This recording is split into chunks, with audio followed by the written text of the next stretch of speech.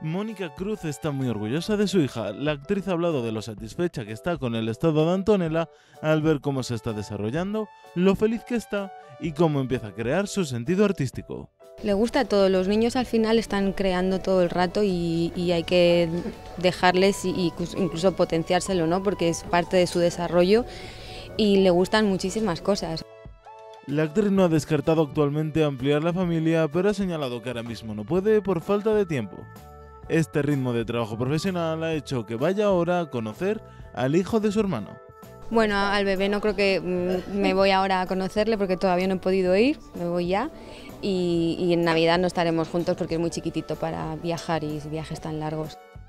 Mónica Cruz ha señalado que 2019 ha sido un año muy bueno, pero ha reconocido que le gustaría que el tiempo se parara porque ve que pasa muy deprisa de cara al 2020 ha pedido salud y que cada uno pueda seguir luchando para hacer su camino.